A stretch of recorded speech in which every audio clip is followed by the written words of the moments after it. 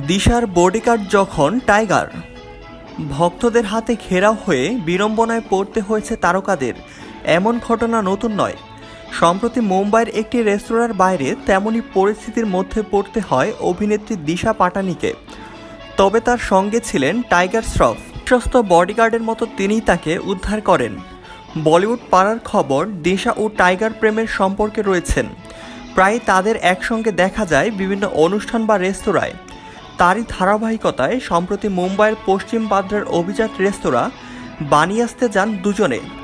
দিশা সবুজ রঙের একটি পোলকা ডকের পোশাক পরেছিলেন। এই পোশাকে বরাবরের মতো সুন্দর লাগছিল নায়িকাকে। রেস্তোরাঁ থেকে বেরোতেই দিশাকে ঘিরে ধরেন তার ভক্তরা। তারকারকে চোখের সামনে দেখে হইচই শুরু করেন, যদিও দুজনের ব্যক্তিগত দেহরক্ষীরা ছিলেন।